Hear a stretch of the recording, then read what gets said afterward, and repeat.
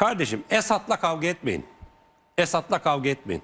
Bunun maliyeti Türkiye'ye çıkıyor. 13 yıl geçti. Şimdi 2024 Cumhurbaşkanı şimdi Esad'ı Türkiye'ye davet edebilirim diyor. Yani tekrar tatil yapabiliriz filan diyor. Düşman değiliz diyor filan.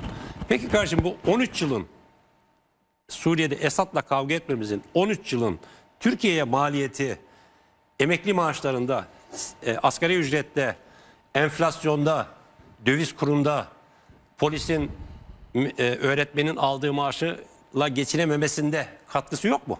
Var. Şimdi hani CHP doğruyu öneriyor mu derken işte mesela burada doğruyu önermiş mesela Suriye konusunda. Kaldı ki sıcak konularda da. Ben ama başka bir şey söylüyorum. Ama şey yapıyor. yapılan Yani tencere mi? Tencere çalıp Buket. ışık kapatınca Hayır, ekonomi şey mi düzelecek? Öyle bir şey olursa yani şimdi efendim ekonomi düzelmesin bir buçuk yıl sonra seçim olsun ben sıkıştırayım. Ekonomi millet perişanken açsan, açken sefilken ben iktidarı vur kaç yapayım alayım iktidarı AKP'den. Bu, bunu böyle bir düşünce yani ihanettir yani siyasetçi için. Bunu da Cumhuriyet Halk Partisi'nden, Özgür Özel'den, CHP örgütlerinden e, beklemek bırakın yani akıl dışı bir şey. Yani böyle böyle düşünmek. Cumhuriyet Halk Partisi de, Özgür Özel de, bütün muhalefet partileri de e, Buket Hanım yani Türkiye'nin iyi olmasını, insanların huzurlu ve mutlu olmasını istiyor. Yani aksini düşünmek akıl dışı bir şey yani. Peki sizce doğru mu yani hani işte atıyorum ışık açalım ışık kapatalım yok tencere Efendim, tava çabal- çalalım Ne- sokağa inelim Peki falan. ne yapacaksın? Ne yapacaksın? Şimdi bugün Özgür Bey grup toplantısında çağrı yaptı mesela. Şimdi hükümet bakın mesela asgari ücrete şey pardon emekli maaşı şu anda en düşük 10 bin lira değil mi? Şimdi bir kök maaş diye bir şey öğrendik. Ya kök maaş diye eskiden bir- bilirim ben 35 yıldan fazladır gazeteciyim. Kök maaş diye bir şey bilmiyordum. Ya kök maaş nedir ya kök maaş? Öyle bir şey olur mu? Son iki yıldır biz kök maaş diye bir şey öğrendik. AK Parti kök maaş diye bir şey icat etti. Toparlayalım bu Efendim, arada. Yüzde yirmi küsür zam gelecek maaşlara ama kök maaşı efendim 6 bin lira 7 bin lira olanların maaşı gene 10 bin liradan fazla olmayacak. Gene 10 bin lira almaya devam edecekler. Ne demek bu ya? Yani kök maaş ne demek falan diyorsun. Anladın mı? Şimdi dolayısıyla e, e, CHP ne diyor? CHP ne diyor? Hani Özgür Özel Yani 21'de dolambaçlı mı yani gösteriliyor bir şeyler ışıkları diyorsunuz? açıp kapatalım bir dakika boyunca hükümete baskı yapalım. Niye baskı yapacak hükümete?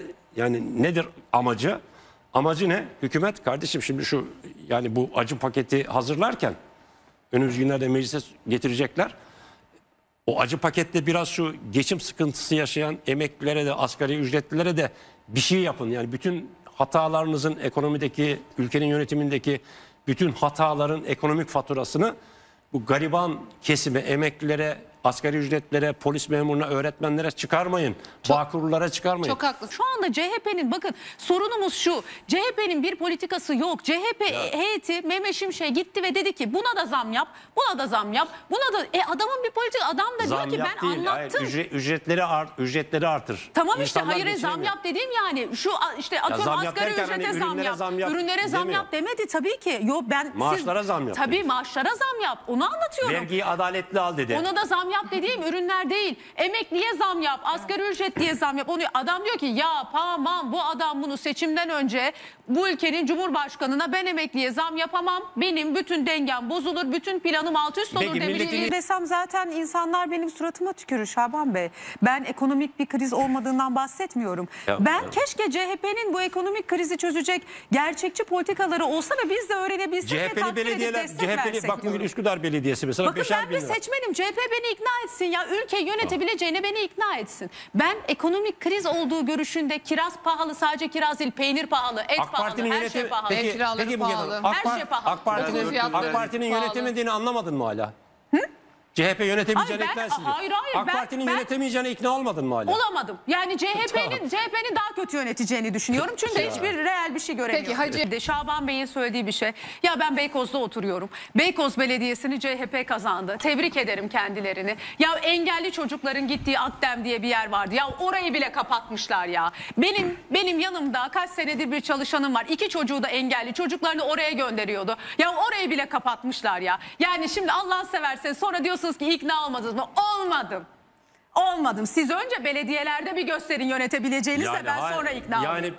Siz biraz haddinizi ve terbiyenizi aşıyorsunuz. Bence sakin olun. Bir dakika, bir Şimdi dakika, evet, bir dakika, evet. bir dakika, bir Olay dakika, bir dakika, bir dakika. kişiselleşmedi. Çok saldırgan bir dili var ya. Buket Aydın, bir dakika, bir dakika. Az önce siz bana niye Özgür Özel sizinle arkadaş mı dediniz? Benimle arkadaş olamaz mı Özgür Özel? Olabilir. Veli Ağbaba da Özgür Özel de benimle arkadaştır.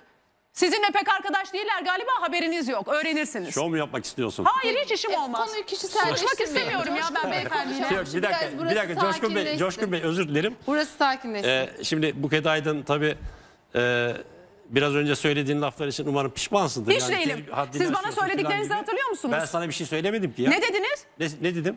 Ya utanmıyor musun? Cumhurbaşkanı yaptı de falan diyorsunuz. Ben niye utanayım ya? Ben utanmıyor musun demedim Sesinizi ya. ilk Hayır, yükselten utanmıyor musun sizsiniz. demedim. Biz sizinle makul Hayır. bir şekilde tartışmaya çalışıyoruz. Mümkün değil sizinle bu şekilde utanmıyor tartışmak. Musun, utanmıyor musun demedim ya. Dediniz ya. Desem inkar etmem ya. Des- Ya ne dediğinizin Tamam, farkında iletişim- değilsiniz Öyle demedim. bence. İletişim hatası Ben. Cumhurbaşkanı Erdoğan yaptı. Şimdi bak burada deyince Cumhurbaşkanı Erdoğan yaptı deyince tamamlayalım Şaban sen Bey. oradan ateşli bir şekilde şey yaptın.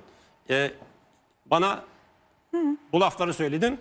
Ben daha sert karşılık vermesini de bilirim ama Tamam, kadın, kadın evet. olduğun için bu kadar Yo söylüyorum. gayet istediğiniz karşılığı verebilirsiniz. Yok. Zaten Hayır. alttan alttan sürekli laf Peki, sokuyorsunuz. fikirler- Yo, ne laf sokacağım ya? Sokuyorsunuz. fikirler Laf sokmam, ben direkt çatışsın. söylerim. Kişisel E, söyleyin o zaman. çatışmalara girmeyelim lütfen. Ama sen rica şov ediyorum. yapmak istiyorsan Hiç- yapabilirsin işim yani. olmaz.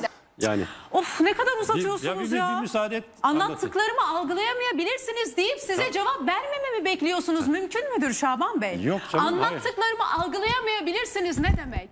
Ya ben hani e, Cansucuğum ya bir söyler misiniz Hayır, bu hayır. beyefendiye? Evet, Anlattıklarımı kişiselleştirmeyelim, algılayabilir evet. misiniz? Algılayamıyorsunuz siyaset ne demek? siyaset Ben kulisi gerizekalı mıyım? Siyaset Ay, kul- yok rica estağfurullah, ederim. bu ya. kez- Ne demek istiyor o zaman bu Siyaset kişi? kulisi anlattığım için Ankara Ee? gazete- Ankara gazetesi olmadığın için anlamında Allah söylüyorum. Allah ya. Mesela Ha- Hacı yakışıklıya zaman zaman gönderiyorum. Hacı'yı sen de susturmuşsun, anımsarsın diye. pıstırmışsın Neden? zaten Çünkü ya. Ankara gazetesi ya. O, dur o Buket anlamda lafı diyorum. bana çakma sen de Şaban Şaban'la şey Aynen yaparken. aynen kavga etmemek için hiçbir şeye giremiyorsun sen de. Buyurun devam